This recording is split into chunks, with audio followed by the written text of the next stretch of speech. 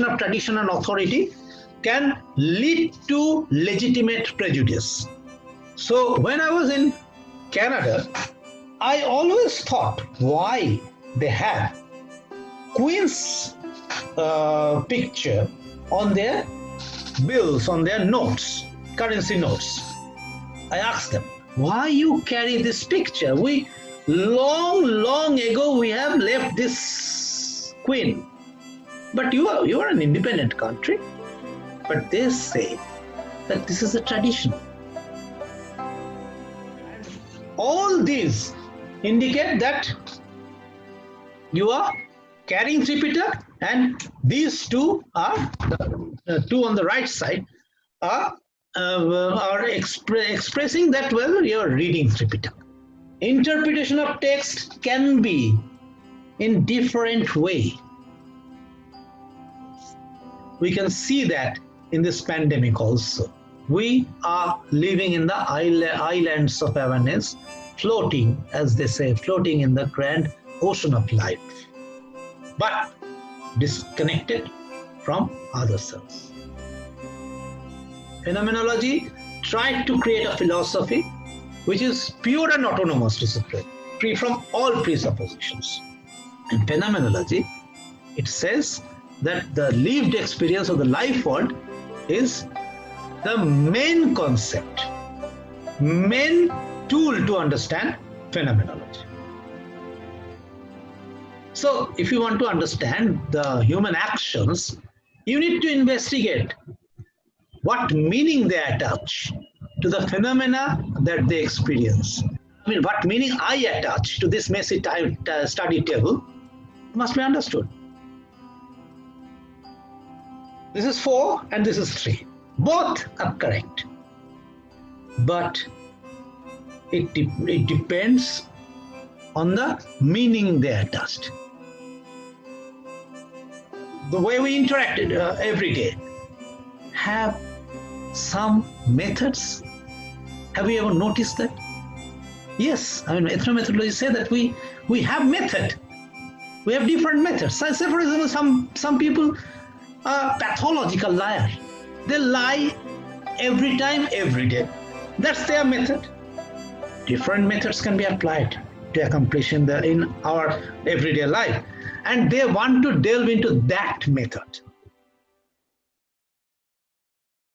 if somebody takes away your cart and starts shopping on that cart, how do you feel? Then you can understand that it was my cart.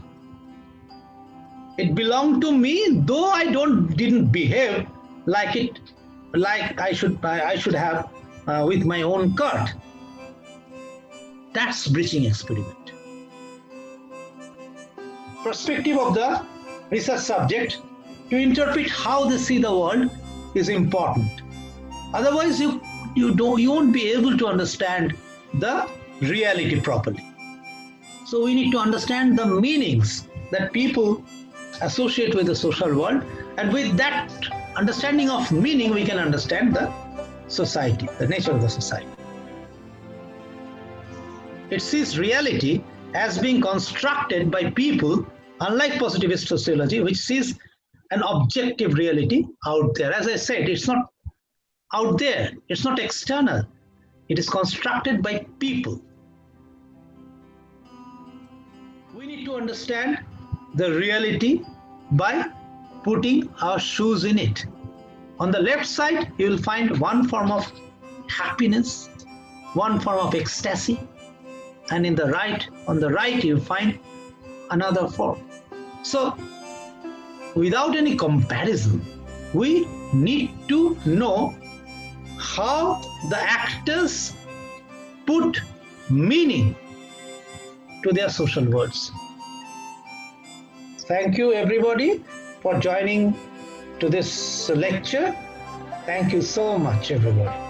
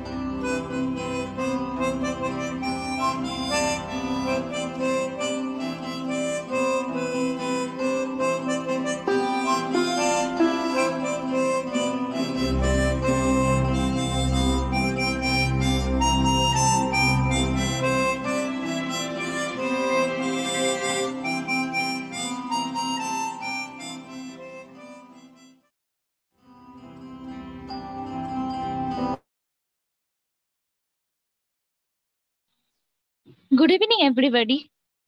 Uh, am I audible to everyone? I think I am audible. So, today is our third and final day of the lecture series on the beginning of social science and scientific method, presented by Kolkata Study Circle. So, I hope you have enjoyed the previous lectures held on the 3rd and 4th of July. I hope this lecture series is helping you to enlighten yourself. Anyway, I must say we are streaming live on YouTube. So if you get disconnected, you can watch it on YouTube. My co-host will provide the link in the chat box. If you have any questions pertaining to the lecture, please type it down in our chat box. And those who will be watching on YouTube, you can type your questions in the live chat box.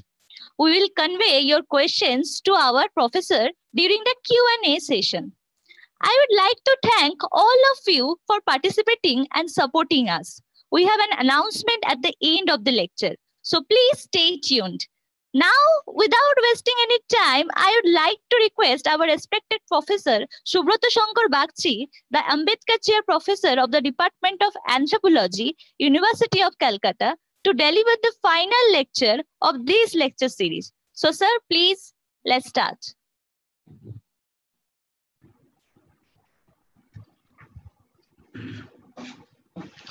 Uh, thank you, Pushpita, for the introduction. Good evening to everybody. Um, this is the last lecture of this second series. Uh, we hope to continue such um, lecture series in future also. Uh, uh, but well, uh, having said that, uh, I must uh, emphasize that I need all of your support that we have already got from you for continuation of such a kind of uh, academic discourse that we are doing right now. Now I have uh, shared the screen. I hope it is visible to everybody. Let me just make it a full screen. Uh, uh, uh well, uh, well, uh, as I said that this is the third lecture or the ultimate, final lecture of this series. Beginning of social sciences and scientific method. Now, I'm not going to recapitulate because uh, it has those who are uh, waiting uh, here have seen twice the snippets of the previous lecture.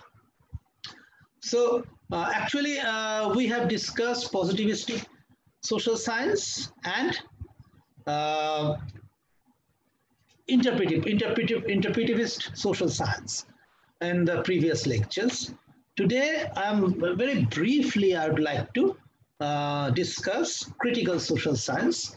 Uh, it also, uh, I mean, we have emphasized on two, two sort of prominent um, views, prominent traditions of uh, philosophy, that is rationalism and empiricism empiricists, uh, the empiricists gave rise to positivism.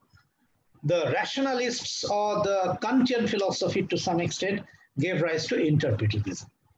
But we left a very important character or very important uh, master rather uh, in social science which, which is Karl Marx. Now critical social science is uh, actually has roots in Karl Marx, but it, it went farther. I mean, uh, all of them are not hardcore Marxists. Some of them are Marxiologists. I mean, there's a difference between Marxists and Marxiologists. Those who think that uh, Marxists are those who think that the society can be changed. Marxiologists say that Marx, is, Marx, Marx was an excellent social scientist.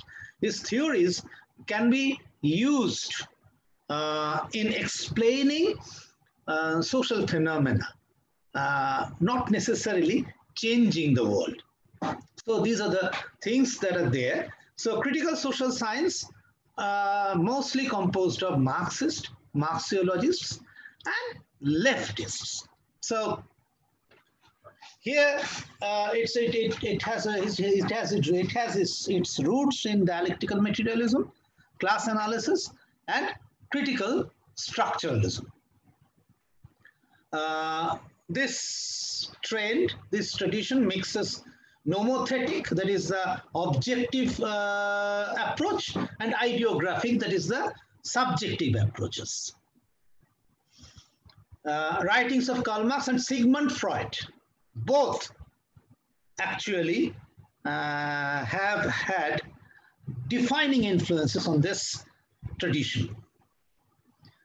Then we have Adorno, Fromm, Marcuse, uh, Habermas, all of them are uh, somehow touched, have uh, somehow related with uh, uh, critical social sciences. Now, the purpose of social science, as, as far as this tradition is concerned, is to reveal what is hidden to liberate and empower people. I mean, there are so many things hidden in our social phenomena. We'll have to unearth those hidden phenomena so that we can liberate and empower people. We take something, some relationship, say for example, relationship between master and a subject is for taken for granted. We take this relationship taken for granted but there are hidden hidden messages of oppression there. We need to unearth those hidden messages, those hidden uh, information, those hidden actions uh, to liberate and empower people. The, the aim is to liberate and empower people. Social reality has multiple layers. It doesn't have one layer. I mean, uh, when we are when, when we are discussing the interpretative social science, we said that the, the, the meaning has multiple layered and uh, with each passing layer, there are problems of misunderstanding. So they, for the for, for the very from the very beginning, they uh, they actually said that social reality has multiple layers, and we have to uh, we'll, we'll have to uh, un, uh, unravel those layers to understand the real motive of the social phenomena and with that we can liberate and empower people. Now, people have unrealized potential and are misled by reification. I mean, that's a term that critical social scientists say. What does it mean? First thing is that uh, people have unrealized, um, uh, unrealized potential. We don't know our potentials. We always take, take something for granted that, well, uh, I am born with a subjugation and this is my fate to, uh, to, to, to get subjugated through, throughout our life our forefathers were also subjugated. So I don't have that potential to liberate myself, to emancipate from, the, uh, from this subjugation. So we don't, they don't understand the unrealized potential, uh, the, the, the true potential, true potential within them. So, and they're misled by reification. Reification is basically uh, is a term used by the critical social scientists to explain, describe, and criticize various forms of systematic processes of commodification. We have commodified various things. And in this commodification, we have so many layers and we don't understand the true potential of those, uh, um, our true potential to unravel those uh, layers. And with that, uh, we tend to mislead ourselves. So commodification, exploitation, and domination, these are the three uh, things uh, that are there.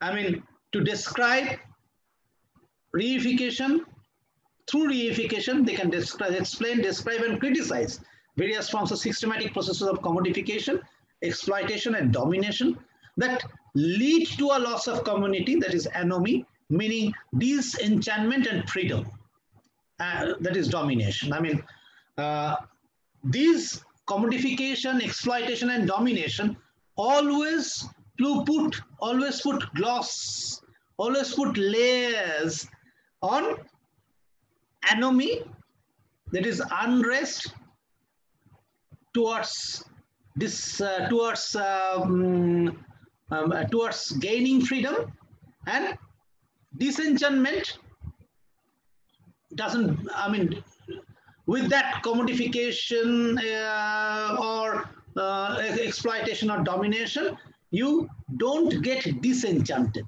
So you think it is a kind of fate that we are born with, we will have to live with this fate throughout our life. That's reification for you. But there was a, uh, it ascribes blame of alienation to the system. It, it alienates you. I mean, uh, you get alienated from commodities. You get uh, alienated from your own uh, own demands, your own legitimate demands, uh, but you don't seem to understand. Through, through reification, uh, society puts a gloss on everything and actually try to project that this is the thing that you will have to accept. So reification is a very important term for, uh, for the critical social scientists. But, uh, and it of course, uh, through reification, uh, it means that the object is really a subject. Many, I mean, in postmodernism, you will find that there was a, the, the difference between object and subject has been blurred. But here, they say the object is a subject. I will come back to this point later. Let me read these things, then I will go uh, to the illustration. Uh, the but the um, the uh, criticism against the uh, against this reification is that it denies what it affirms that the world is inhuman. It affirms that world is inhuman, but it denies that at the same time and affirms what it denies, that namely that there will there there's still a subject that can act and change the world. So here you are. What is it? The Mangal Sutra. Okay. Let us let us put it in uh, critical social science perspective. Now, uh, of course, if this object is a subject, meaning that this is not only an object, uh, it is commodified. Commodified, uh, it's a means of commodity, uh, it's a means towards commodification, exploitation, and domination. Then, well, uh, through marriage, uh, a lady can get it.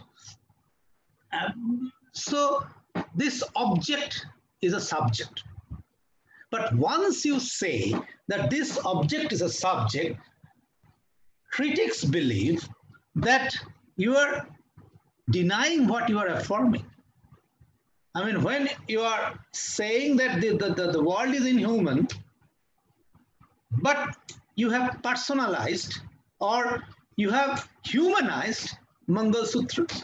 So your basic contention becomes denied and you affirmed that this object is a source of commodification, exploitation, and domination. If it's if it is so, then you are you are affirming what you have denied. You are affirming that there is a subject who can actually be a person and who can wear this thing very with, with much pleasure, with much satisfaction. So you are denying that inhuman world. So you are denying what you are affirming and you are affirming what you are denying. So that's the that's the criticism against reification. It's a big, big debate. We can go on with this debate on reification. Uh, and of course, another very important issue is praxis. So in critical social science, the, in, the purpose of social science is to reveal, oh, sorry, multiple layers. Uh, sorry, it's a kind of, yeah, the social science is irrational. Just read the, the from that part. Social science is rational. There was a mistake in PowerPoint display. Uh, social science is rational. Social life is rational uh, they say that there, there, there is no irrationality in social life and a bounded autonomy stance, stance is taken toward human agency. So human agency have autonomy. They think that they have autonomy, but it's a bounded autonomy. The autonomy, as long uh, autonomy is there, as long as the ruling class allows. This is the bounded autonomy. And social scientific knowledge is imperfect, but can fight false consciousness. Scientific knowledge is not perfect always. It says, you can see the scientific knowledge there, but it can fight false consciousness. There is a there is a element of uh, uh, confirmation through scientific knowledge that it can fight false consciousness. Of course, through CAA, CSS, we uh, they create abduction as explanatory explanatory uh, critiques. Abduction is used to create explanatory critiques. I will come to abduction point. That that's a conclusion, uh, conclusion that we call. Uh, there, are, uh, you can see from the uh, figure that there there are three main planks of uh, any research, abduction, deduction, and induction. In abduction, you have uh, uh creativity. Through creativity, you can, I mean, from data, you go to new theory, and it's, it's a creative sort of, creative sort of hypothesis that you can bring. Then you have deduction from the theory to you go to data and induction is from, once again, um, from data to theory. Uh, these induction and deduction are strict, strictly scientific nature. In, uh, in anthropology, sociology, and other social sciences, we add, particularly in critical social sciences, we add this abduction, which is creativity. Creatively see what, uh, creatively explain the um, social phenomena. Explanations are verified through praxis, that is practical knowledge. All evidence is theory dependent and some theories reveal deeper type of evidences. So theory, all evidences are theory dependent. I mean, all evidences are dependent on theory and some theories reveal deeper types of evidences, some others not so deep. It's a kind of reflexive dialectic orientation which is adopted through knowledge that is used from a transformative perspective. That's, that's, a, that's a complicated line. First thing is that reflexive dialectic orientation, it is reflexive as, as well as dialectic. Uh, what's uh, what for the reflexive dialectic orientation? To orient to towards knowledge. We are taking the knowledge we are not taking the knowledge uh, as granted. We are taking the knowledge in a reflexive mode and in a dialectic matter pattern. So uh, this reflexive dialectic pattern can use as a transformative perspective that is to liberate people to emancipate people. That's the meaning of this transformative perspective. So social reality and the study of the necessary study of it necessarily contain a moral political dimension. So we cannot get away with this moral political dimension as far as the critical social scientists are concerned. Social reality and the study of it has a moral political dimension. We, we sometimes we study things with no moral ground, with no political ground. Sometimes people, even the social scientists say, I'm apolitical. That's the, uh, people say uh, this statement is either too political or rather uh, uh, it's very much political statement, apolitical, or they don't know, they, they don't understand what the politics is. I mean, you cannot really explain a social reality. Say, for example, the condition of the migrant labor uh, in India now. Can you explain it with the without moral political dimension? No, it's not possible and the moral po political positions are unequal in advancing human freedom and empowerment. That's very important. I mean, I mean, these moral political positions are unequal.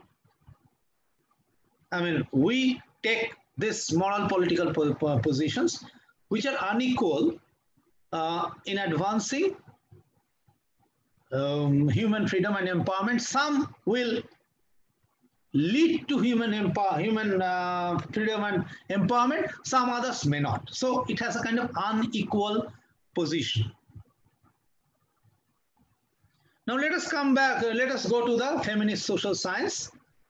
Uh, feminist research is conducted by people, most of them women, who hold a feminist self-identity and consciously use a feminist perspective.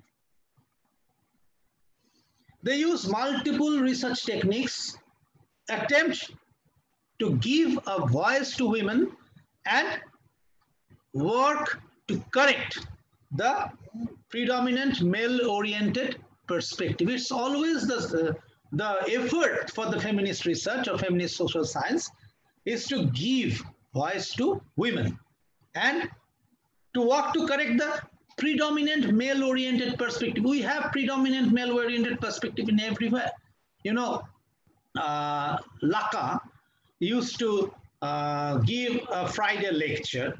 Uh, in each Friday, on each Friday, there was a lecture in the um, uh, university uh, where uh, every, people from all, all walks of life used to attend.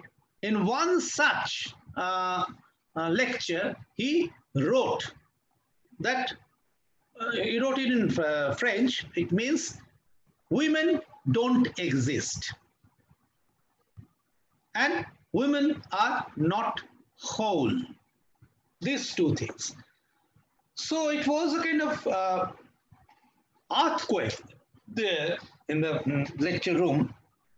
What he's talking about, but what he thinks that he's saying. Lacan then said that you, you can see the our language is also male oriented. I mean, um, we don't have a proper um, term to describe women. We say that, well, man, woman. The divide of manhood makes a woman. Devoid of manhood is womanhood. Male, female. Devoid of or absence of male, malehood, maleness, leading to femaleness, femininity. You, we still say uh, uh, effeminate males, we still, still ridicule them. So it's always there. Our own language is very much male oriented. So they always try to give voice to women and work to correct the uh, predominant male oriented perspective. They were.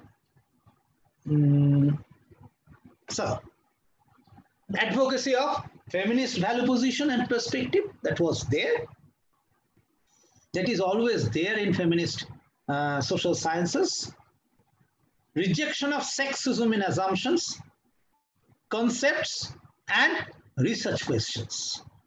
So we have sexism embedded in our assumptions, concepts, and research questions, they reject everything.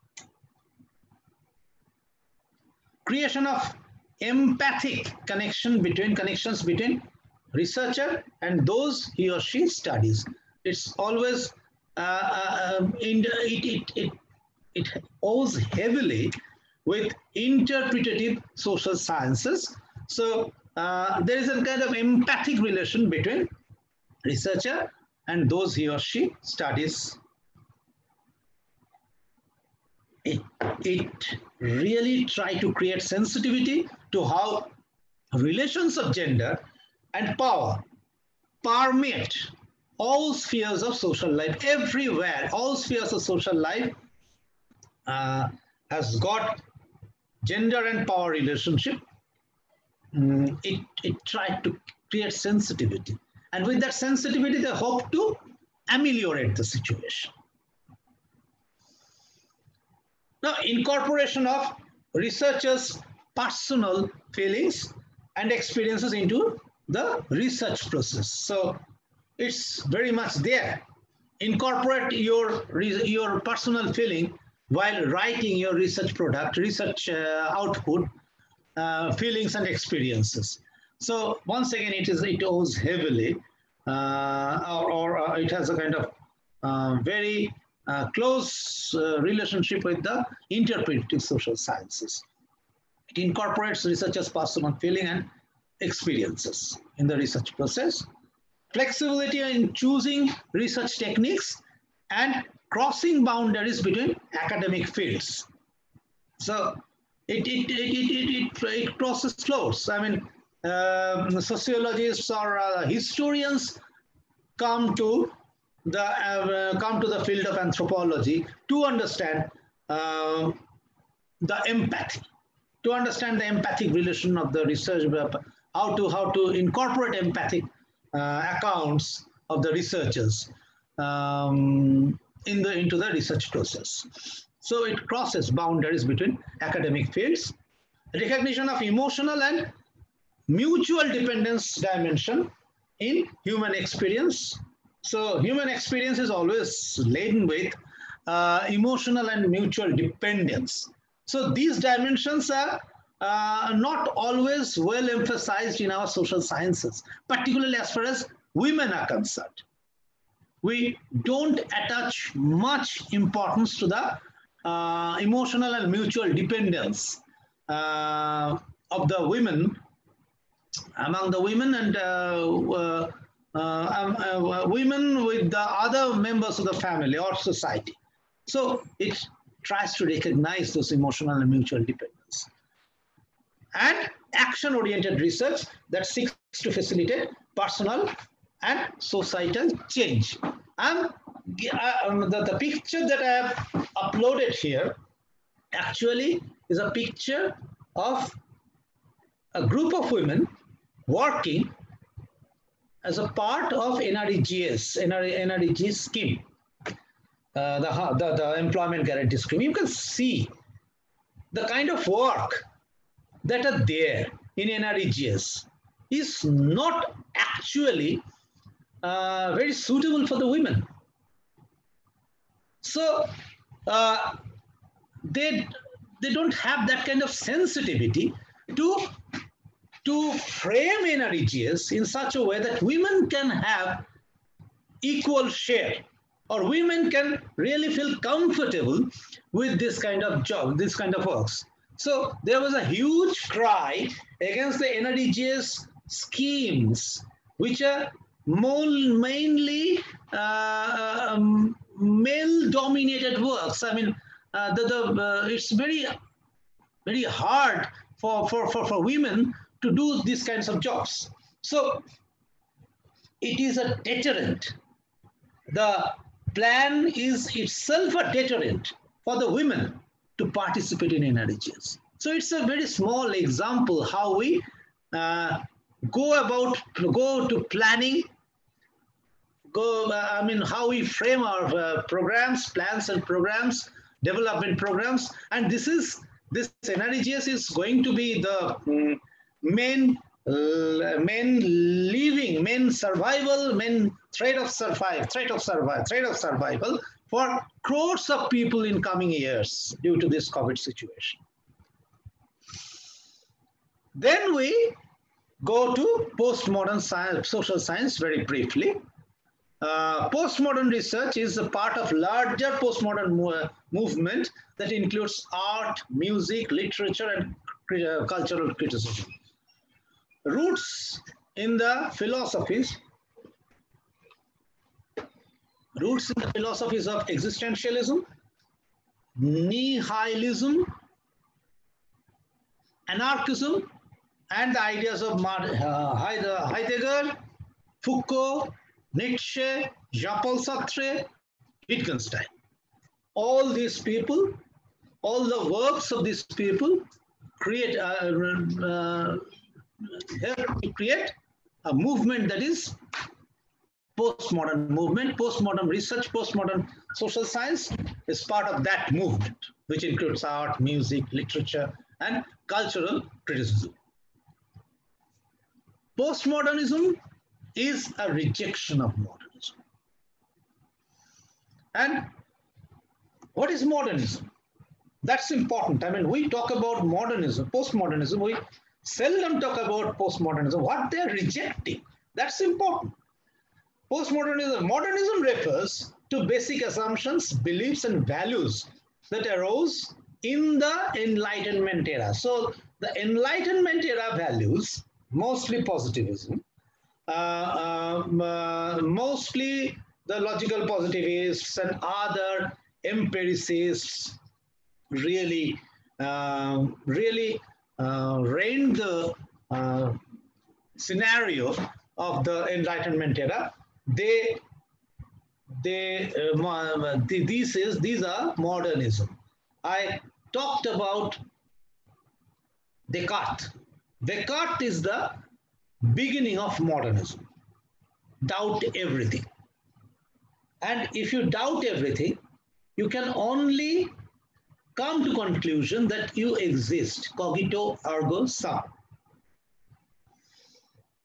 Modernism relies on logical reasoning, as I said. It is optimistic about the future and believes in progress. It has confidence in technology and science, and it embraces human values. That is, judging ideas based on their effect on human welfare. So, modernism actually, these are the planks, these are the main uh, planks of modernism. Uh, they, they are optimistic about the future, believes in progress, and it includes the progress of society. They think that um, culture, culture evolved throughout the, through the time, uh, through, um, uh, through the ages. It has confidence in technology and science, and it embraces humanistic humanist values, which is based on mm, uh, human welfare. So modernism holds that most people can agree about standards of beauty, truth, and modernity. So Indians, Indian people are very fond of fair skins. Uh, the, the debate is raging there. The debate is going on on fair and lovely or uh, something else and lovely. So uh, there can be standards of beauty, truth, and morality. And uh, people can agree on this standard. So modernism says that here you are. You can, we can, we can agree. We can agree, uh, generally agree on the standards of beauty, or maybe truth, or maybe morality. Postmodernism rejects everything that are written in this slide. Rejection of all ideologies and organized belief systems, including all formal social theory. They reject everything, all ideologies, be it uh, any idealistic ideology or materialistic ideology, anything, anything they reject. There is no such thing as ideology or organized belief system. Organized belief system some of the postmodernists says organized mafia. They create mafiosi. Uh, it, it includes Christianity. It includes other religions also. So, and they reject formal social theory. They say there is no such thing that can explain social phenomena in a generalized way. So formal social theories are rejected. Strong reliance on intuition, imagination, personal experience, and emotion. These are the basic things of postmodernism. Uh, intuition, imagination, personal experience, emotion. They try to catch hold of this. They, they try to grasp this. Sense of meaninglessness and pessimism. So meaninglessness and pessimism is inherent in postmodernism. They, are, they think that everything is meaningless and they are pessimistic, inherently pessimistic. Believe that world will never improve that's important. They say that a kind of we are living in a world which can never improve. And sometimes we say that go, uh, we talk about golden past. They, they say that there is no such thing as golden past. Society was ruthless, brute from the very beginning, and it is still continuing. It will continue in the in future extreme subjectivity in which there is no distinction between mental and external world. So, as I said, the reality is not external according to interpretative social science. Uh, so, one thing, that's one thing. Positivistic social science, there, reality is external. So, they say that there is no distinction between mental and external worlds. Everything is external. One thing can be called external. It is due to our internal belief that that is, a, that is getting external. That's important. You can see from this GIF uh, that well, uh, uh, this is a kind of this is this is a snippet from a postmodern film by Bob Thriller. Mm, women are colorful.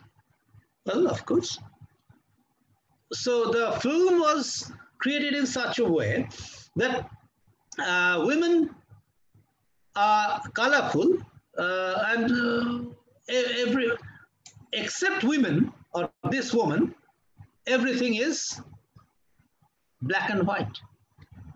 So women that that woman is going around hoping that it's a very good world it's a very it's a very optimistic world, but it's actually not.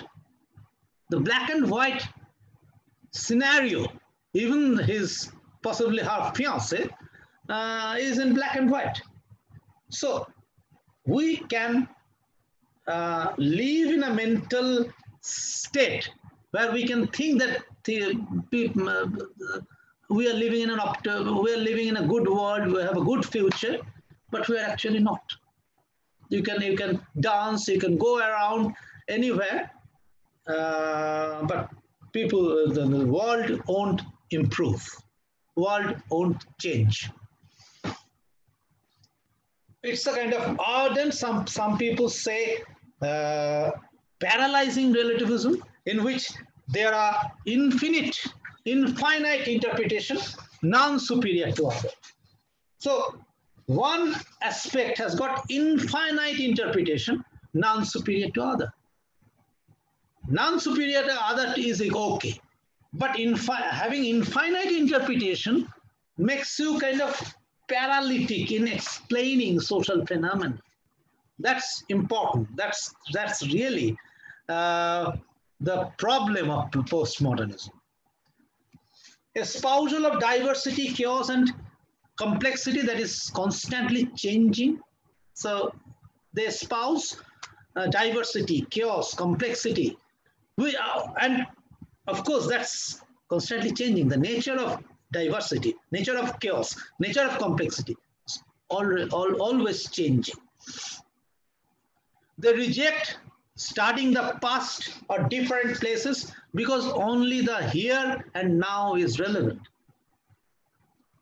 So postmodernism is not diachronic, it's synchronic. Only, only now and here is important. I mean, that's important. That's the uh, pitfall, uh, biggest pitfall of postmodernism.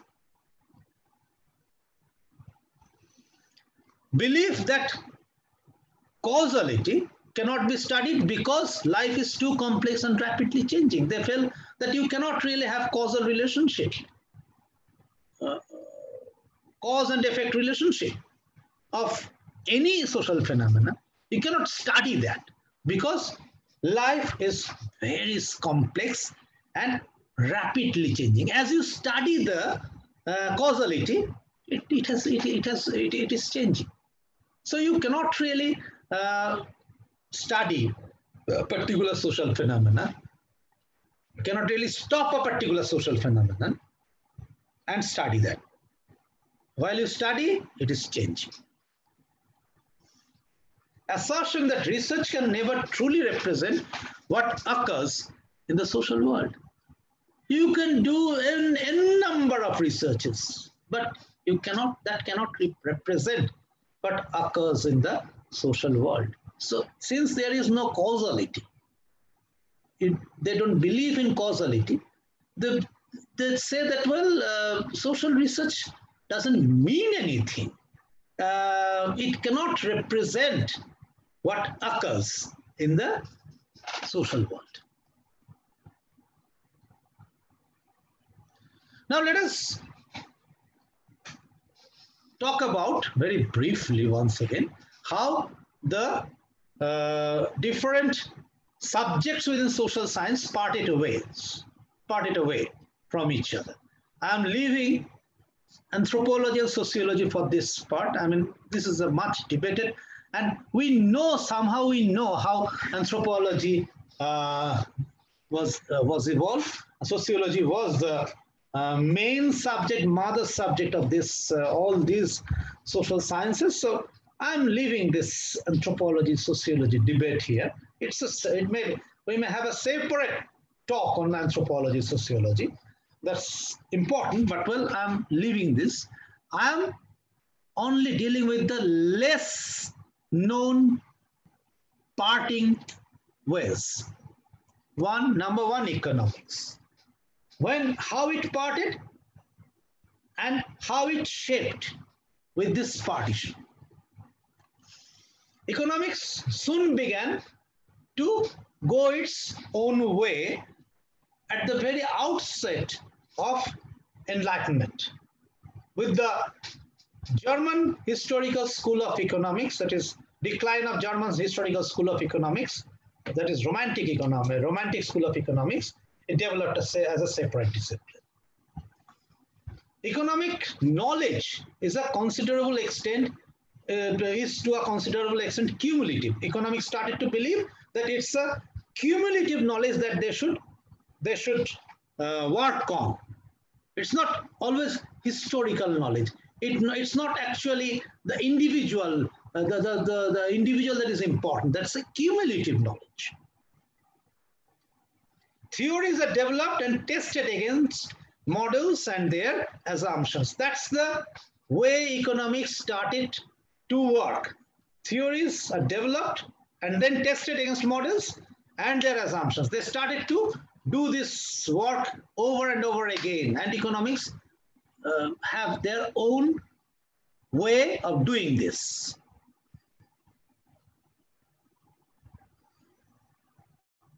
It, it all started with Adam Smith, though. That's very old Adam Smith, father of modern economics, division of labor, invisible hand, individual effort, is the producer of the, he said that individual hand, individual effort is the producer of social good. That's the beginning of economics. But well, it all started with, uh, I mean, uh, the, the actual um, economics started with classical political economy. Jeremy Bentham, Reverend Thomas Malthus, David Ricardo, John Stuart Mill, they examined the ways the landed capitalist and laboring classes produced and distributed national output and modeled the efforts of population and international trade. That was their topic, that was their subject. How the landed capitalist and laboring classes produced and distributed national output and modeled the effects of population and international uh, international trades. This, this is the classical political economy for you. Then, of course, capitalism and Karl Marx, capital, thus capital, capital Communist Manifesto, thus capital, history of class struggle, Hegelian dialectics, every, everything was there. Another trend. Those are sort of uh, simultaneous trends sometimes. Neoclassical thought, it appeared uh, just before the Second World War, marginal utility, application and development of Jeremy Bentham's utilitarianism, uh, then mathematical analysis, Austrian school, Irving Fisher. I'm just listing this. Alfred Marshall, Joseph Schumpeter. This group said the determination of price, outputs, income distribution in the market through supply and demand. Uh, state doesn't have anything to do uh, uh, with the uh, income and distribution of income. It must be done through markets. So prices, outputs, and income, everything will be decided by market. This is the neoclassical economic, economic thought. That is, that is a different from the classical thought like the, that is um, uh, Adams, Smith, or Marx has had espoused or Marx had actually proposed. Then uh, during the, uh, the 30s, uh, uh, there was depression and reconstruction that gave rise to another form of economic uh, tradition. Uh, Hayek, Keynes, we are talking about Keynes these days, uh, uh, where, where Keynes actually emphasized that uh, we need to have a very vibrant public sector to for the welfare of the people. Government should invest more in the public sector. And that's the biggest uh, sort of employment generating uh, sector, biggest income generating sector, biggest asset generating sector. But nobody believes uh, in Keynes these days. None of these ruling elites believe, I, I, I guess. Uh, that's obvious that we need a good public sector, but these days we see the how to sell the public, there is a competition on selling the public sector. Then Wall Street crash, on that crash, on the background of that crash, can save that. Market can crash, people can um, become uh, pauper or penniless overnight. You can have calamities in our societies. So public sector is important. That's the that's the um, vertebral column. That's the main column of main stay, mainstay of economies. That should be. And the rise of then World War II happened, then rise of uh, Bretton Woods institutions like World Bank, IMF, etc. That's another sort of economics that's that are there.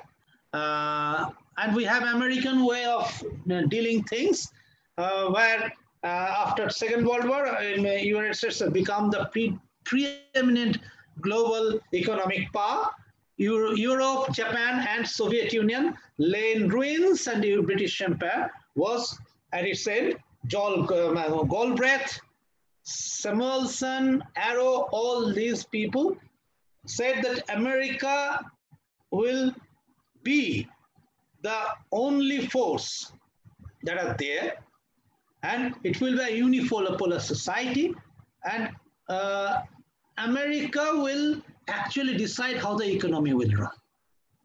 That's American way. Then monetarianism, monetarism and uh, Chicago School. Uh, that's the laissez-faire. We have neoclassical economy, and this is the laissez-faire economy. Ronald Coase, Milton Friedman, the Fed, uh, the, the, the, the Paul Volcker, Greenspan, all of them. This is, this is, uh, uh, uh, this is the interventionist monetary and fiscal policies that the orthodox post-war economics recommended come under attack in a, by a particularly particular group uh, by, by a group theorist working in the University of Chicago, which came as the Chicago School of Economics. We talked about Chicago School of Sociology. We talked about Chicago School of uh, Architecture. Now you are, now here you are, the Chicago School of Economics. Uh, and also we have welfare economics by Amartya Sen Stiglitz. That's the way economics actually parted its ways and proliferated as a separate social science. Now let us talk about psychology. The first psychological laboratory was uh, uh, initiated in uh, Leipzig, Leipzig by Wundt, Wilhelm Wundt. Um, but the first psychometric analysis was done by Francis Galton in his book Hereditary Genius in 1869. Uh, the focus of psychology become the behavior and experience of the individual aftermath of positivism. That's important. Aftermath of positivism, um, positivism doesn't really uh, allow people to, uh, to be very individualistic. The individual is not so important. It's the collectivity that is important.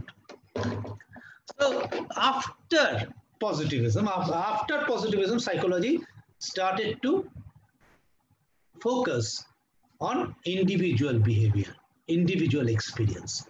And the general aim was to explain, predict, control this individual behavior and individual experience. Uh, that's the identifying feature of psychology. And the, they, they, they parted way from positivism. And when they parted way from positivism, it's a separate social science. Psychoanalysis was initiated, you know all this, uh, by Freud, and psychometrics was Gal by Galton.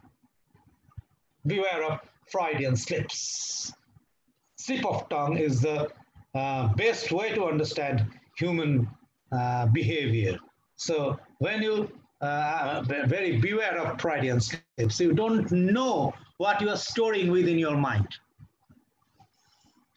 Something analogous to other sciences, formulation of hypotheses that can be tested against objective empirical data, ideally by experience experiments in which relevant variables can be manipulated and extraneous ones controlled. Uh, these are the uh, definition of variables. Uh, I mean, the relevant variables can be manipulated. We can manipulate the variables and extraneous variables are controlled. We'll talk about these variables maybe in some other lecture series.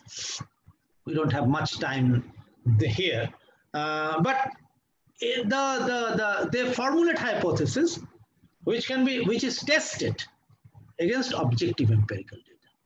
And we have manipulated uh, or controlled uh, manipulated so program program group or control uh, I mean uh, relevant variables manipulated and extraneous ones controlled.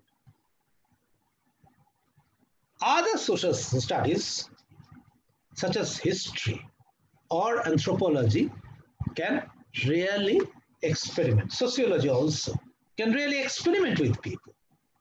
When you are uh, manipulating the relevant behaviors, the relevant uh, variables, you are experiment with, experiment with the human behavior. And we, uh, the, the other social science, science or other social scientists do not do that.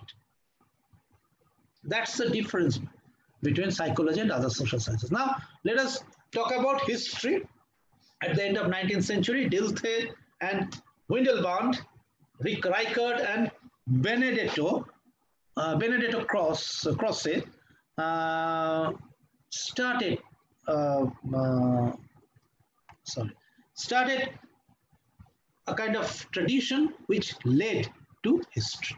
History was concerned with unique events,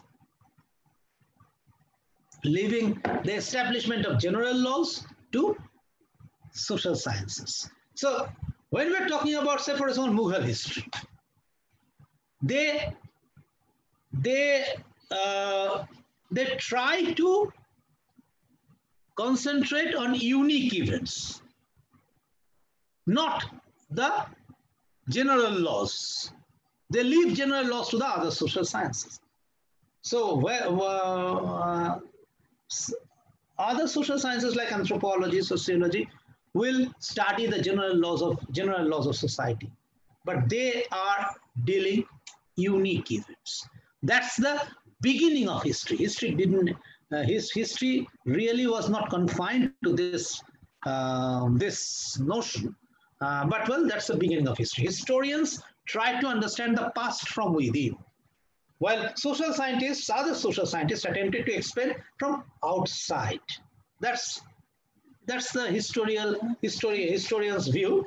I mean, they try to understand the past from within. They, they, they journey to that path. Say, for example, the path that is that is there, uh, the historical fact, the historical character traversed and started to narrate that path, started to narrate the his actions as an insider. But social scientists try to explain that path from outside, mostly, mostly. Uh, history, he's professor of history, uh, tried to negotiate his cat. Uh, so history actually rebelled with the con con uh, conventional wisdom. Uh, some parts of history, he's Marxist historian like Romain, Sereni, they started to talk about historical materialism. We, uh, we um, discussed about historical materialism. Now, economic historians, uh, like uh, in the, um, um uh, they started to um, published this uh, economic history review, Belgian Hendrik Pirenne and Hex, Heckscher, more in common with the debates among economists than with those of the fellow historians. So they, are, they, they debated with the uh, economists more than the fellow historians. So they're more of an economic who are, who are having historical historian view, historians view, rather than historians with uh, economics, uh, their views on economics. No. Uh, the, in France, Annales School, I talked about Annales Schools, a broader uh, uh, approach to history. It started with Annales Journal, Lucien Febvre, Bloch, and Fede, uh. Uh, it, it's a kind of exploration of what author called geohistory, a historical geography. Now there are new approaches of the of, of past it started from uh, late 60s to uh, late 60s. One is history, history from below, which, which we call subaltern history sometimes. Uh, not only the history of ordinary people in the past, but also history written from the point of view of the ordinary people. So during the, say for example, in the uh, Mughal era, why Mughal Empire declined. One such um, uh, one such uh, argument was by the subaltern history is that uh, so the taxes were taxes on uh, agriculture was so high and most agriculturists were actually left agriculture so the revenue from agriculture declined and that's why uh, the decadence or the decline of the Mughal Empire started. That's one way of seeing history from below. Then we have microstoria, that is microstory. It's a very good example is um, Cheese and Worms, Ladurie uh, Montaillou, then we have Akenfield, all of them. It's basically passed at the level of small community, whether village, street, family, or even individual.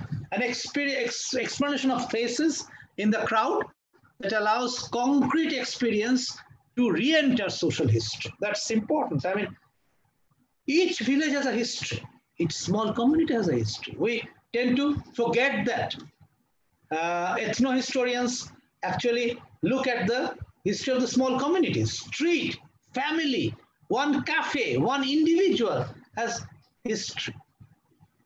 So these are the examination of the faces of the crowd. And it allows concrete experience to re-enter social history. So the concrete experiences of a street, say for example, will re-enter into the social history. It's the history of that street. Then we have history of the everyday. Altak, I, I can't uh, pronounce properly. Altak uh, something like that. Uh, developed in Germany, of course. Uh, who, uh, who else uh, can um, give such a short name for a big thing? Uh, developed in Germany, drawing on philosophical and sociological tradition the, that includes Schutz, Goffman, Lefebvre, and Chartier. It reinserted human experience into social history, which was uh, perceived by some of the practitioners as becoming increasingly abstract and faceless.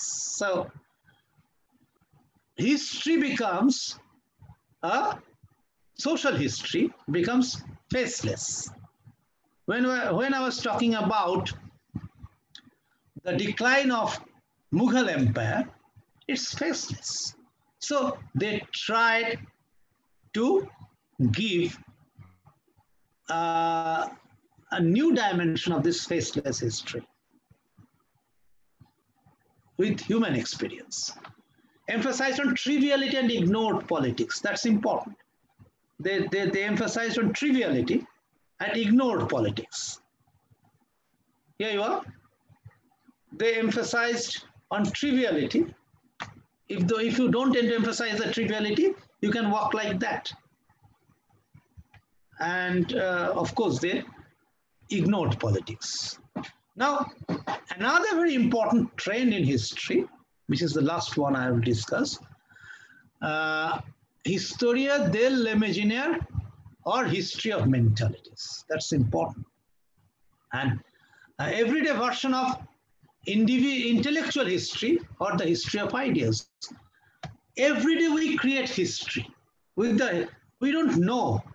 We don't know that we create history with the history of ideas. We have several ideas, but we don't understand that. I'll talk about this imagined community uh, history of habits of thought or unspoken assumptions. This group tried to try to grasp the history of history of habits of thoughts of unspoken assumptions. Originated in France in the 1920s and 1930s, revived with the increasing concern with representation. Who represent what? And problem, I mean, who will speak for whom? And with following Jean, uh, Jacques Lacan and Foucault called imaginaire, which is best translated as imagined rather than imaginary. A new emphasis on the construction of social production of different forms of culture. This group led a new emphasis on the construction of social production of different forms of culture, or the invention of tradition, or the states and societies as imagined communities. as Benedict Anderson said, the imagined nation is an imagined community. Here you are, the, the, the patriotism. So, well, uh, there are two, two, uh, two pots with, with, with, with uh, uh, trees. One is saying that, well, uh, I'm, I'm, I'm glad, I'm so glad that I was born in this pot and not in that pot. You can you can relate this form of patriotism in these days. These days you can relate these things uh, with a kind of scenario or other imaginaire narratives that are developed in India. But nation is an imagined community. We don't know any people, many people in the world. I mean, how many people in this in this uh, in, in India we know, but we consider ourselves as well as a person in Meghalaya or maybe in Kerala or um, Tamil Nadu or UP, same in the same community that we are Indians. So it's an imagined community. This history of mentalities the, the is uh, can can can can really uh, explain such a concern, such a form of representation. That's very history from outside, history from inside. All four approaches are linked in some ways to social anthropology. All four actually try to grasp, try to grapple with the native's point of view. Work in small communities, observing everyday life and studying modes of thought or belief systems, describe themselves as historical anthropologists. So they, uh, as I said, the political, uh, econo uh, historical, uh, economic historians are different. And here you are, the historical uh, anthropologists are there uh, they refer works to um, Pritchard, Turner, or sometimes even to Clifford Geertz, who is ahistorical in every sense of term. Now, let us go to the different approaches of research. Uh, we talked about scientific method, rise of scientific method. We talked about different ways this method developed. Now we talk about how this method created approaches. First one is qualitative approach. The constructivist and interpretivist uh, view is generally associated with qualitative, qualitative approach to science. I mean, this is not positivism that we're talking about in qualitative approach. It's the interpretivist view that we talk about in qualitative approach. Uh, that means observation are made through unstructured interviews or participatory observation. The researcher becomes part of a group to observe it. The data are obtained from one or just a few research subjects. The data are analyzed qualitatively by interpreting texts and recorded materials. That's a qualitative research for you. And quantitative research, it's the objectivist, positivist view is associated with the quanti quantitative research methods. Uh, observations are collected that can be counted, measured so that data can be aggregated over many research subjects. The subjects are intended to represent a much larger group, possibly in support of of a universal explanation. They always try to generalize the things. The data are analyzed using quantitative and statistical techniques. Both approaches have their advantages and drawbacks. For some research questions, a qualitative approach is better. In other cases, a quantitative approach is more appropriate. We always see that. In, in fact, a mixed approach where both methods are used to complement each other is steadily gaining popularity these days. Now, last, my last topic is goals of research. How you define your goals of research. That's important because according to your goals of research, nature of your research will also differ. Now let us first say what can be the general goal. General goal, general goal is to gain knowledge. Specific goals can differ. Differ on the type of knowledge that we want to gain and for what purpose we want to gain. If, if, if, we, if we want to gain the knowledge for applications, that's a separate sort of research. If you want to gain uh, knowledge for knowledge sake, that's a that's another form of research. Okay. Now the first debate is universalistic versus particularistic, universalistic and particularistic trend. Universalistic trend is to provide explanation that apply generally applicable to all people or all groups of societies. That is universalistic. Say, for example, violent video, we, uh, we sometimes uh, say that there is a relationship between watching violent video games and aggressive behavior of the kids. Uh, we take, uh, we, we, we, can, um, we, we want to make an, a kind of universalistic statement by uh, doing a research, uh, taking gender, age, cultural, cultural setting concerned. And after everything, we say, we actually uh, try to uh, make an universalistic, make a universalistic statement that, well, violent game watching uh, leads to aggressive behavior of the kids. But particularistic research is aimed at describing or explaining a phenomenon that occurs in a specific setting or concerns of a specific group. It's basically particular to a specific group. You must describe or explain a phenomena in terms of that specific setting or concerns of the specific group.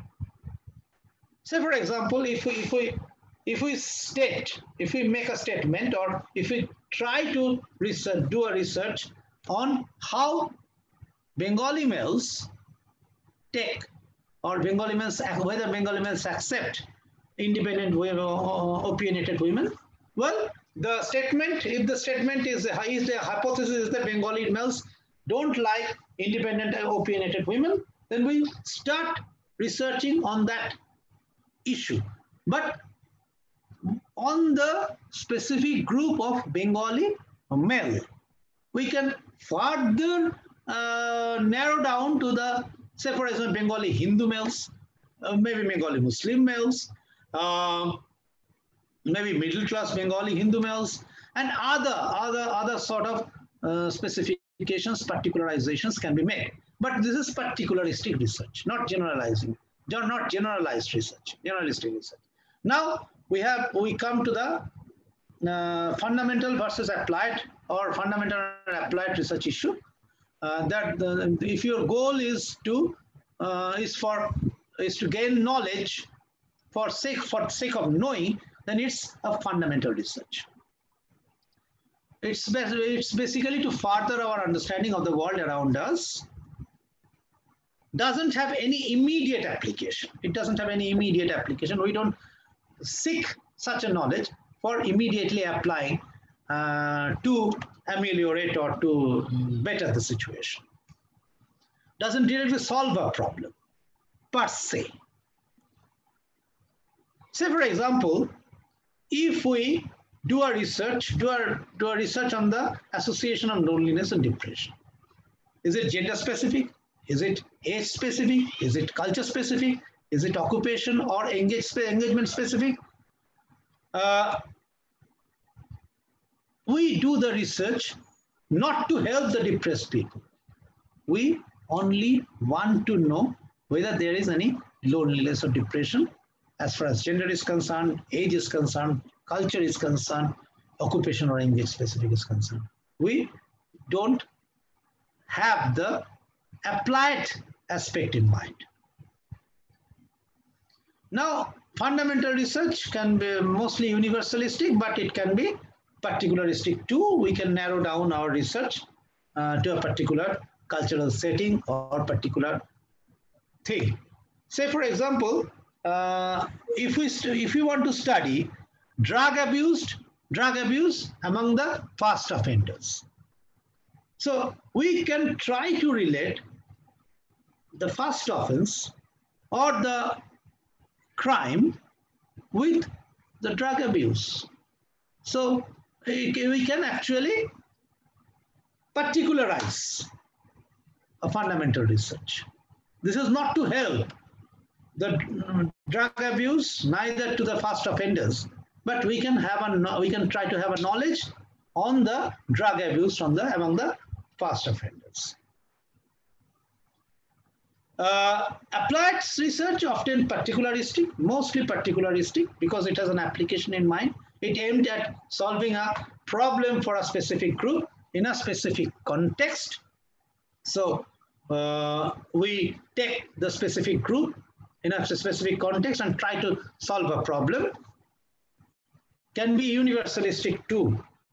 We can have, uh, uh we can try to apply a particular thing uh, say for example here, changing the types of uh, video games, we change the types of video games and we can try to watch the changes in kid kids' behavior, whether they are becoming less aggressive or not. It can be universalistic research.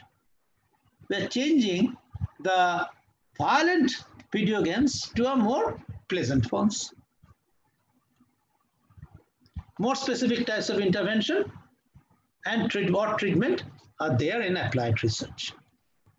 Applied research can produce results that lead to new insights, leading to new intervention or treatment, may also provide some fundamental knowledge. Applied research can provide fundamental knowledge and vice versa. Fundamental research can have some applied knowledge from fundamental research, some applications can really come up. Some We can create some applications from fundamental research. We can have some fundamental knowledge in the applied research also. Two types of research can reinforce each other. And brief recap, we had critical social science, feminist social science, postmodern social science, parting ways, economics, psychology, and history. We left anthropology and sociology because that's much discussed. Approaches to social science, very briefly, qualitative methods, quantitative method, mixed method. Then we have goals of research, universalistic and particularistic, applied and fundamental. Thank you for joining the Thank you, sir, for this wonderful lecture. Uh, I think we have some questions on Zoom as well as on YouTube. So mm-hmm. we decided I will uh, I will read out the questions from Zoom, and Ranjan will uh, read out the questions from YouTube. Ranjan, so, let Ranjan first do that. Okay, let okay. Do that first. Okay. There is no question till now in YouTube. Mm. Okay. Then Pushpita. Okay. Uh, first, we have a comment from Sri.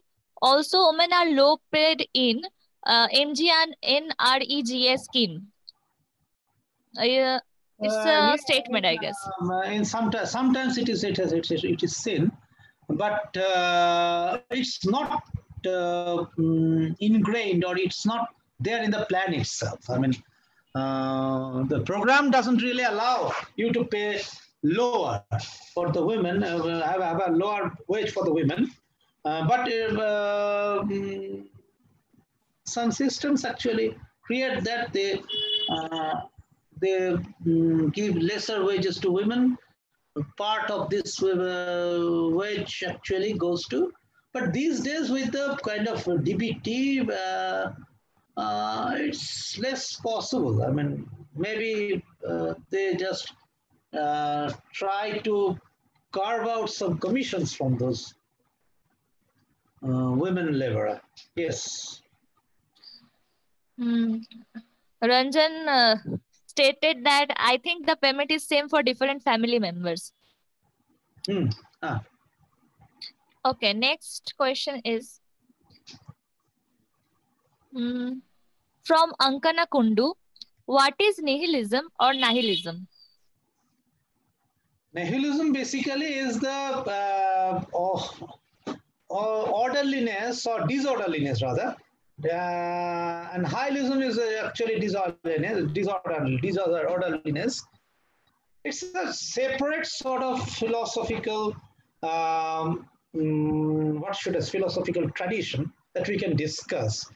Uh, but nihilism is uh, basically uh, how we create order in a society, how we perceive order in a society. And our perception may be wrong, but how we perceive order in a society. That's nihilism. Mm. Next question is from Priya. Is not it correct that human generation can't go on without each of the gender, rather male or female, can't uh, sustain without each other? So still why this concept that male is supreme? Well, um, that's the basic fallacy of world. I mean, uh, we, I mean, nobody, none of the males can survive with, the, with without females. Uh, and this is the uh, uh, this is the this is the basic thing.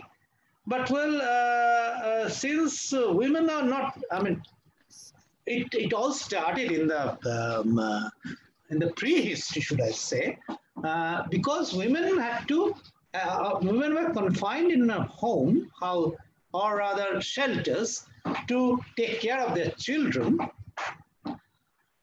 they were they started the males started to subjugate. That's the start. But well uh, it, it was I mean, not in every societies but in some societies we found that well uh, uh, the, the women women are confined to the household works and the males were uh, from outside. Males were doing the outside works.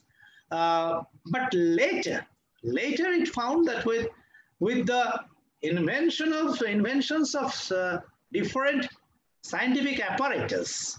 Say, for example, steam engine. We call steam engine is a revolutionary uh, dis discovery. But steam engine was a start of women's subjugation in the modern era. Because women are not supposed to run the steam engine.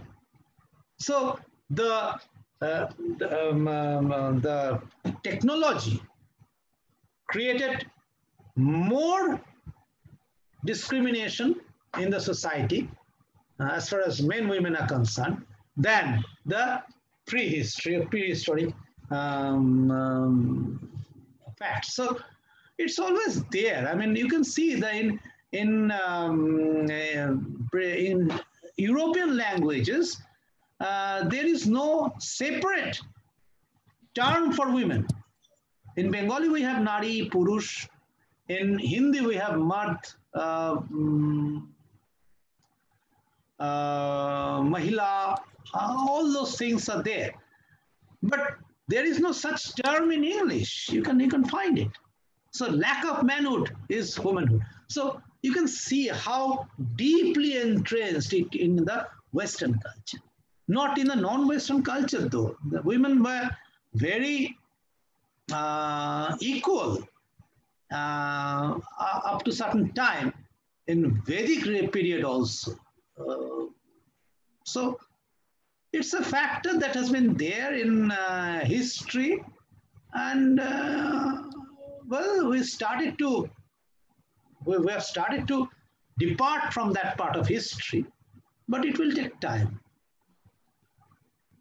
Yes, any other question? Yeah. Uh, next from Sri.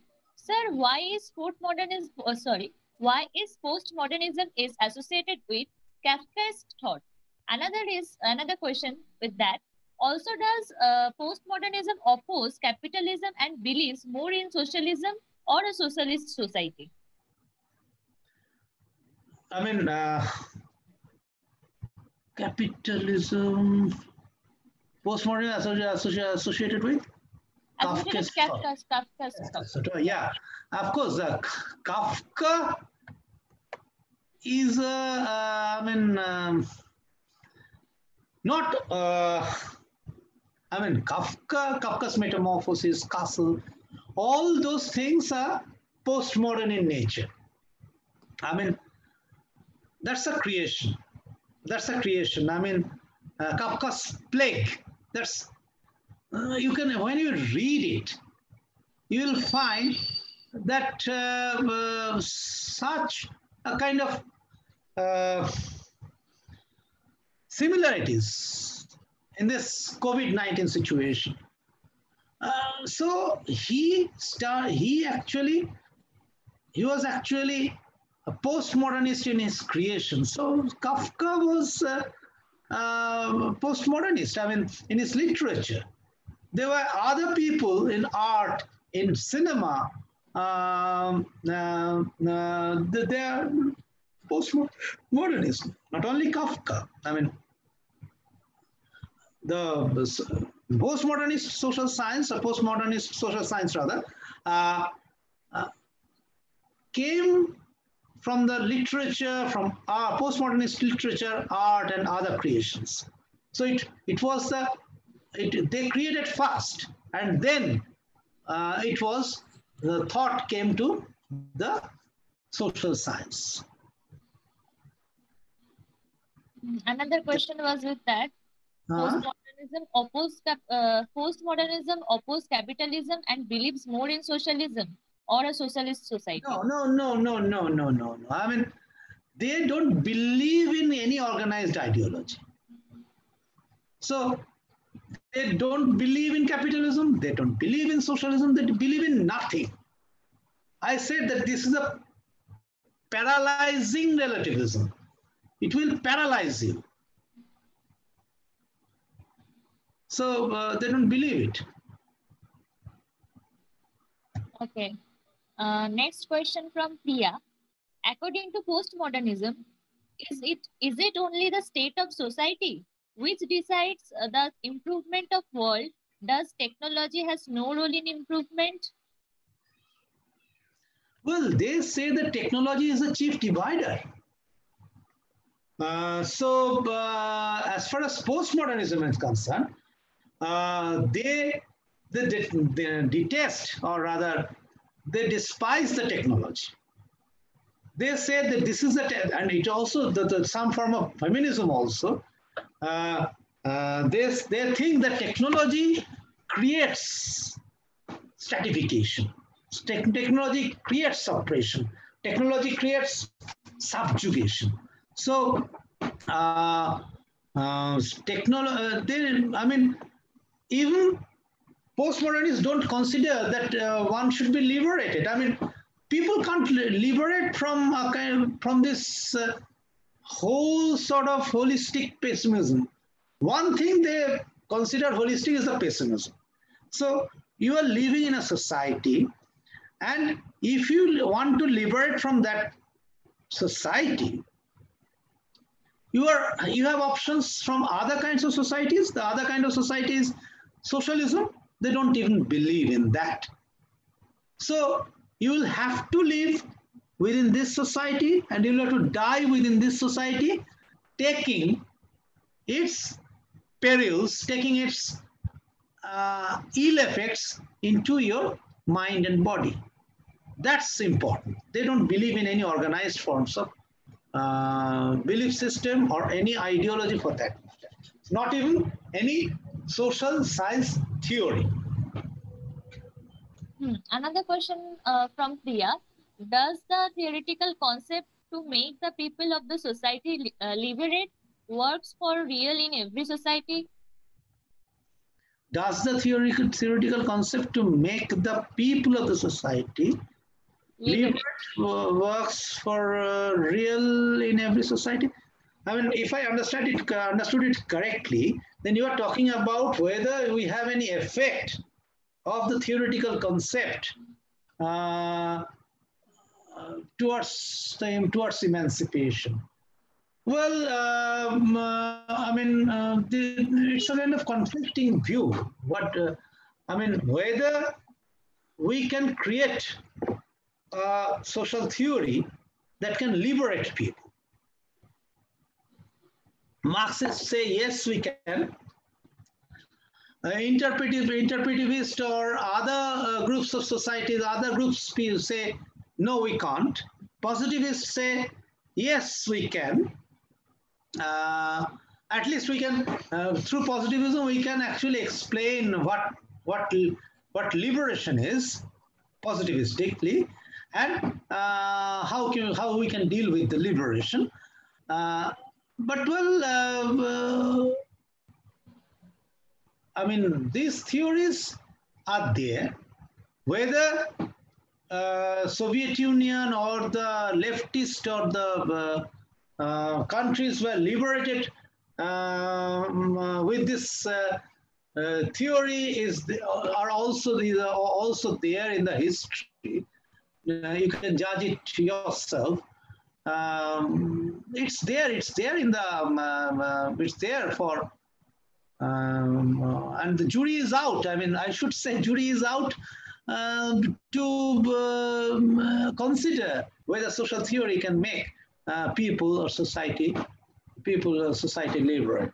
But some theories have some liberation effect, should I say, um, in the history, but well, that short-lived. Uh, history, I mean, societies went back to uh, the same subjugation mode, not same, the different subjugation mode uh, or oppressive mode over and over again. Yes. Next question from Sri. What does Hegelian dialectical mean? Oh. Hegelian dialectic is, is, is a reverse. I mean, uh, it's a uh, huge issue. It's a reverse of uh, Marxist dialectics.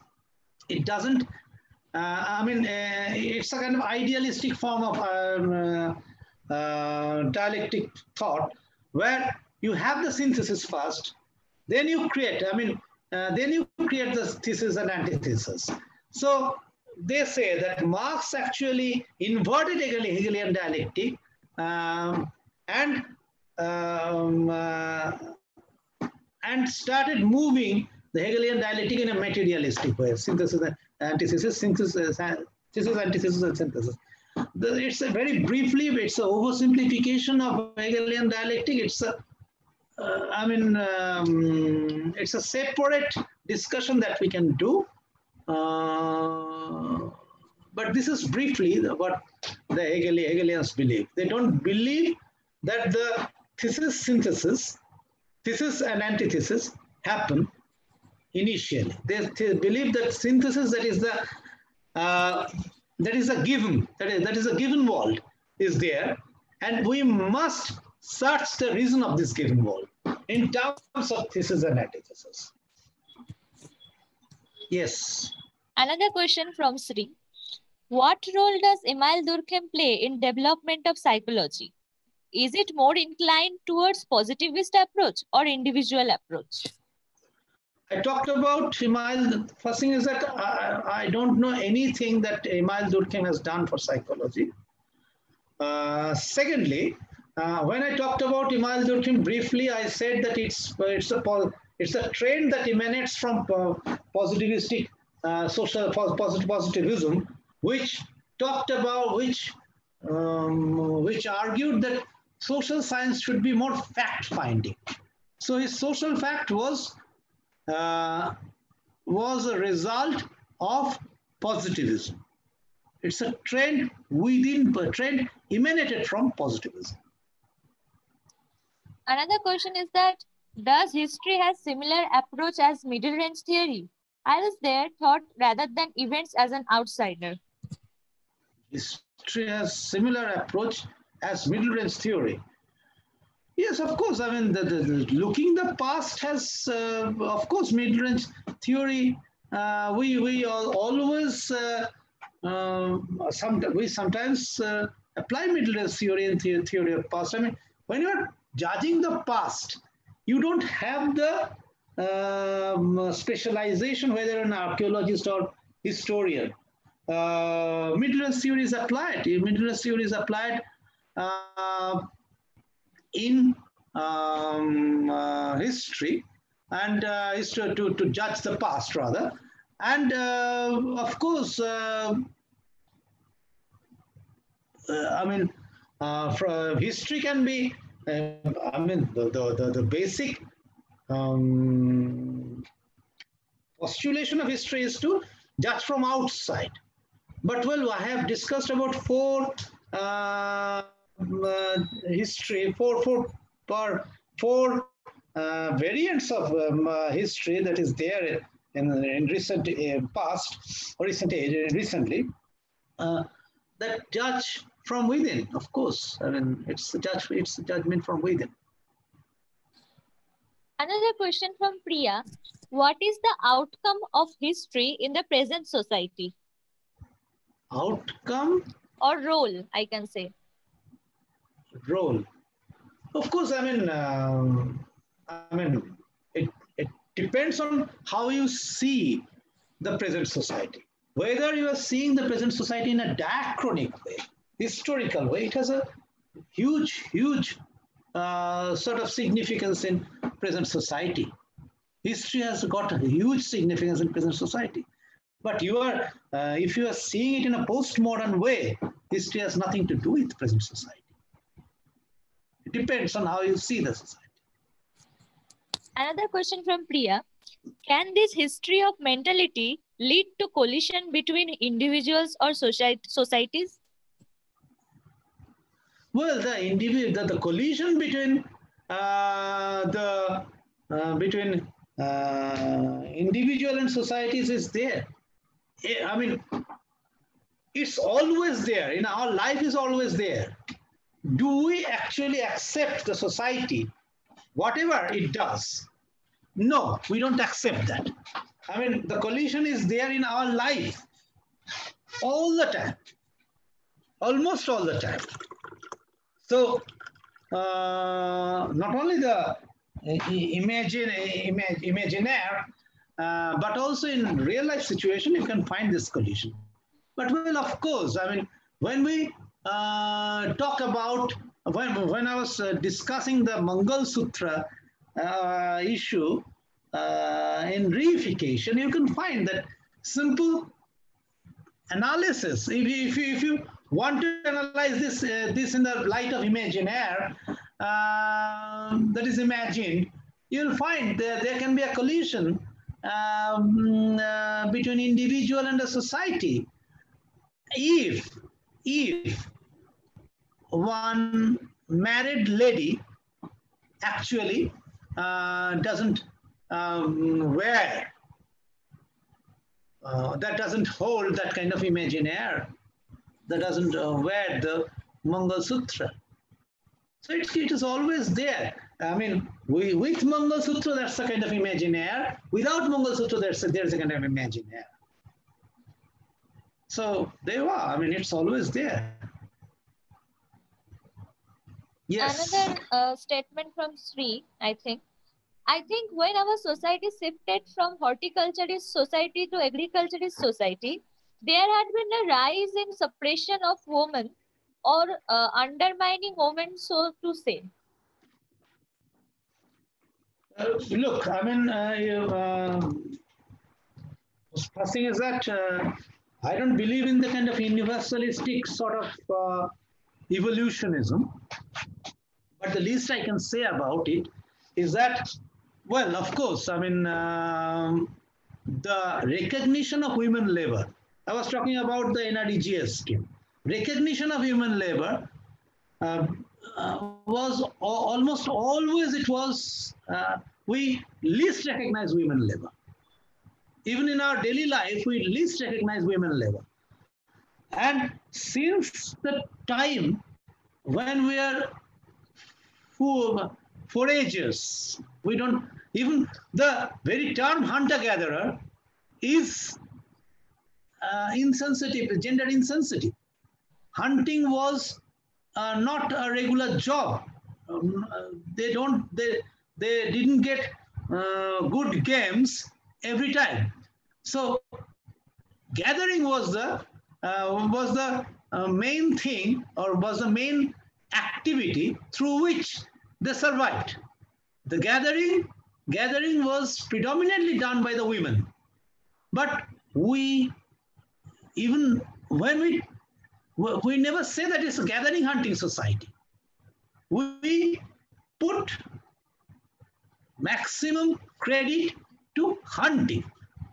You can see how we uh, denigrated or rather avoided to recognize women labor. So it was there throughout the history, but it was not there universalistic, it is not universalistic throughout the world. We can't say that, we can't say that every society was like that. It's a, it's a kind of universalistic uh, view that cannot be proved everywhere. Yes. Another question from Ankana.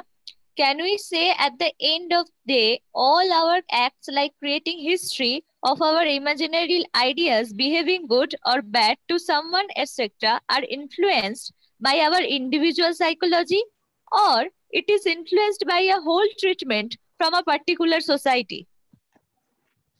It is both. It is both. I mean, um,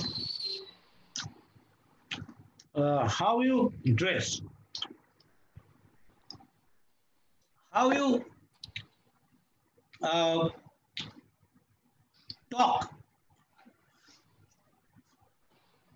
how you behave, uh, both your individual psychology and the the kind of bringing up or rather kind of society that we're living in that's a that's the result of that society the society societal uh, forces that, that you are in.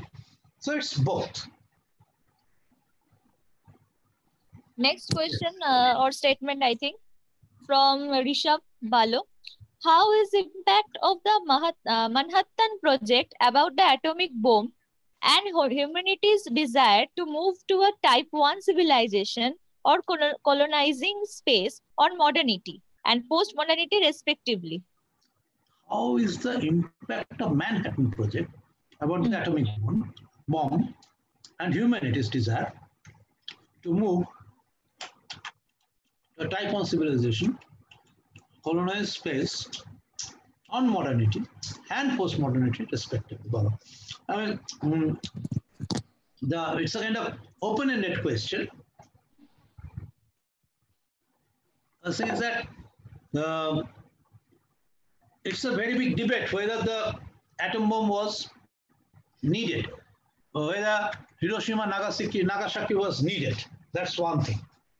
It was needed for American American expansionism, not to defeat uh, uh, the Axis force, Nazi force, sorry, Nazi force, because um, uh, they were all they were already confined to a small area. That's history for you. Uh, and of course, uh, there was a threat from uh, USSR, erstwhile USSR, to capture the entire Europe, that they can capture the entire Europe. Uh, that's one thing. But uh, type 1 civilization, or the European forms of Western civilization, rather, uh, it is, uh, I mean, it desired to move to Taiha or colonizing space. Uh, I mean, atom bomb uh, uh actually created the difference uh, in the world in US domination. In uh, I mean, US started to dominate after the atom bomb situation, Hiroshima, Nagasaki. Nagasaki. Uh, but it was not entirely unipolar world. Um, uh, the, the, the socialist world was also there.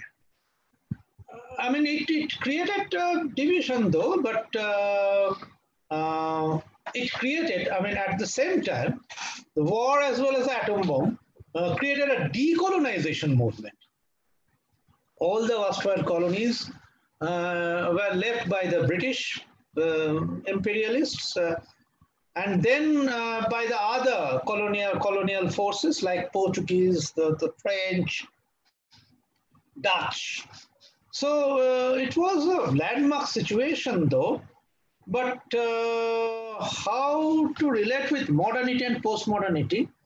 Uh, uh I mean, uh, of course, modernity, uh, the, the modern architecture and other things developed, but well, postmodernity, postmodern des description of atom bomb can be very pessimistic more pessimistic than, um, than we ever think. I think I could answer your question, but I could not answer your, um, I could not fully understand your question. Also. Yes, any other question? No, sir, we don't have any question on Zoom. I think uh, we have maybe on YouTube. I would I would like to request Ranjan to read out. Ranjan, please. No, sir, there are no question in the YouTube comment box. There is no question.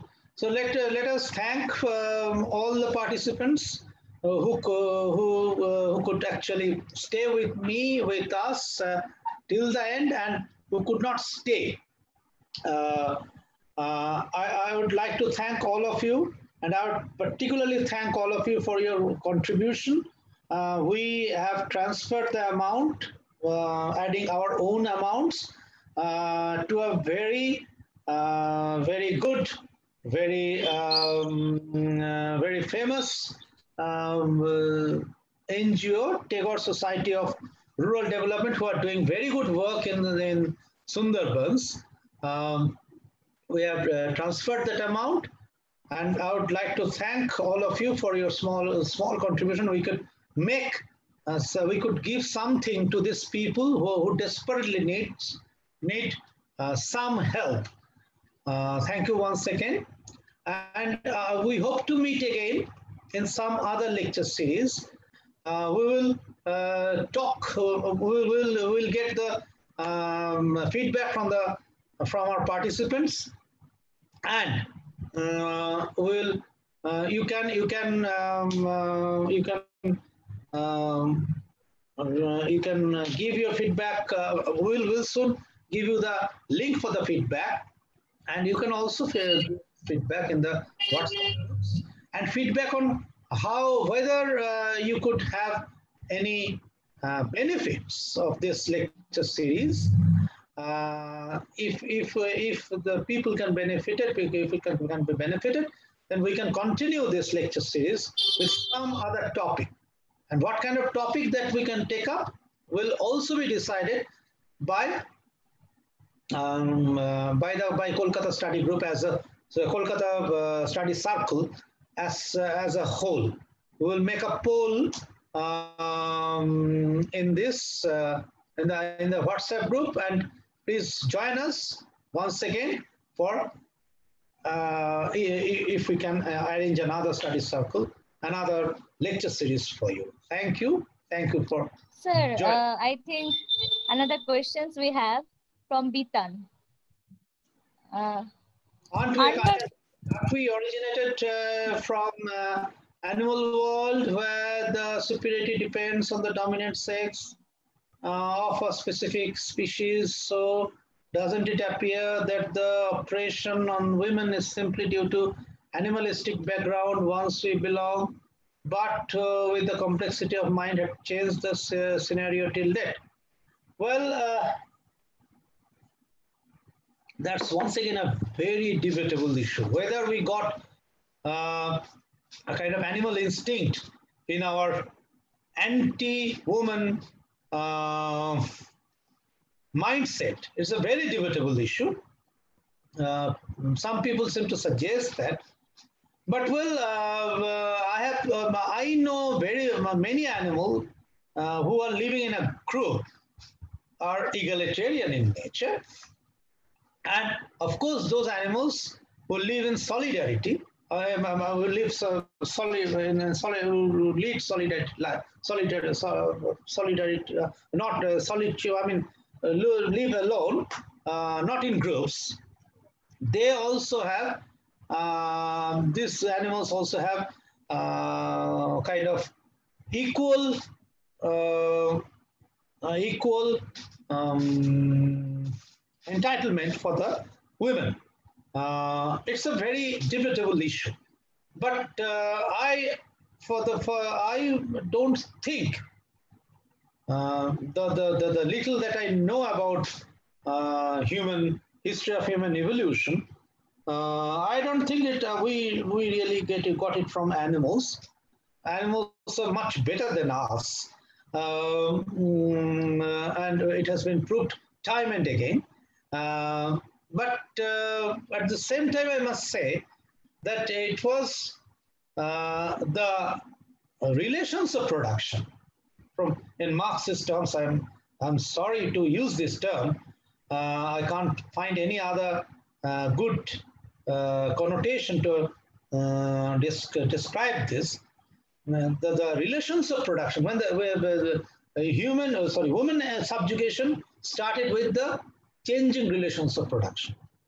It was least during the uh, food um, uh, gathering stage. Uh, later, uh, as we move on to a, a better or rather more uh, energy producing um, production techniques, we can really we we started to subjugate women more it was at its peak when we uh, we started village farming, sedentary lifestyle. So uh, I uh, I think it, it is something to do with the uh, technology and relations of production. That's my view. Yes, but in many animal kingdoms, sexual yes, completely. Uh, somebody else uh, have answered uh, has answered this question, but in many animal kingdoms, the sexual part is generally dominated by females. Yes, that's that's that's true. That's very much true. Okay, thank you so much for joining. Thank uh, you, sir, for this uh, wonderful lecture series. And I think uh, those who have not uh, joined our WhatsApp group, they can email us their uh, feedback. Uh, so it will be better to know from them their feedbacks. So all of you can email us. You, I think you, you all of you have our email address. So any of you can email us, those who have not joined our WhatsApp group. Thanks for participating and thanks for supporting us. Thank you. Thank you. Thank you. Thank Good you. night. Good night.